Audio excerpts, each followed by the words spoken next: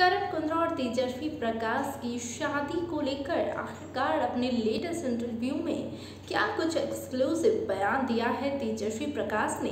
क्या कुछ खुलासे किए हैं खुद की शादियों को लेकर? चलिए पूरी अपडेट बताएँगे आपको इस वीडियो में। नमस्कार मैं सृष्टि आप सबका स्वागत करती हूँ हमारे यूट्यूब चैनल पर।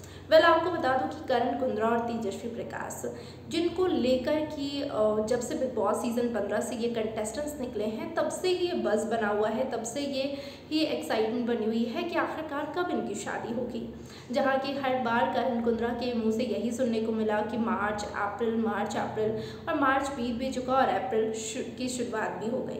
और इसी बीच जब तेजस्वी प्रकाश ने हिंदुस्तान टाइम्स में अपना लेटेस्ट इंटरव्यू दिया है, इस दौरान जब तेजस्वी प्रकाश से ये सवाल सवाल पूछा गया कि आपकी और करण की शादी कब हो रही है? क्योंकि मार्च तो बीत गया है और मार्च में ही बोला था करण कुंद्रा ने। तो यहाँ पर तेजस्वी प्रकाश बहुत ही फ़नी जवाब देती हैं और तेजस्वी प्रकाश कहते नज़र आती हैं कि आप लोगों में तो बस बना दिया है करण कुंद्रा ने कि मार्च में शादी होगी या फिर अप्रैल में शादी होगी।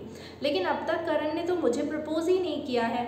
करण ने मुझे अब तक ये कहा ही नहीं है कि शादी करनी है और या फिर शादी से रिलेटेड कोई भी बात। हम दोनों ही एक दूसरे के साथ और हम दोनों ही अपने अपने कामों में इतने ज़्यादा बिज़ी होते हैं कि फ़ोन पर इन चीज़ों के बारे में बात करना काफ़ी ज़्यादा मुश्किल होता है और बैठ कर हम इन चीज़ों के बारे में अब तक डिस्कस नहीं कर पाए हैं।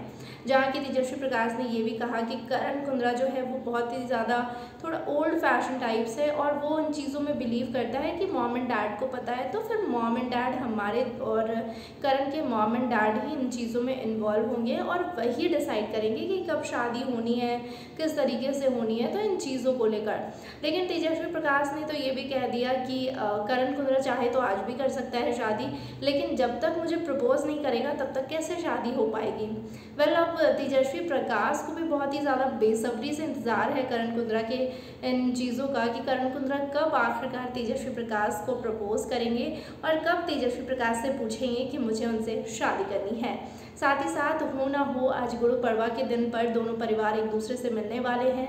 दोनों ने इस फेस्टिवल को साथ सेलिब्रेट करने वाले हैं तो कहीं ना कहीं ये चांसेस तो बनते हैं कि तेजस्वी प्रकाश को गुरु पड़वा के मौके पर स्पेशल गिफ्ट मिल सकता है करण कुंद्रा की तरफ़ से और उनकी फैमिली की तरफ़ से भी। आपका क्या कुछ कहना है इस पूरी अपडेट को लेकर? कमेंट सेक्शन में ज़रूर बताइए। और आप कितने ज़्यादा बेसब्री से इंतज़ार कर रहे हैं करण और तेजस्वी की शादी को लेकर? कमेंट सेक्शन में बताना बिल्कुल नहीं भूले। साथ ही साथ एंटरटेनमेंट दुनिया की बाकी खबरों के लिए जुड़े रहिए हमारे चैनल के साथ। धन्यवाद।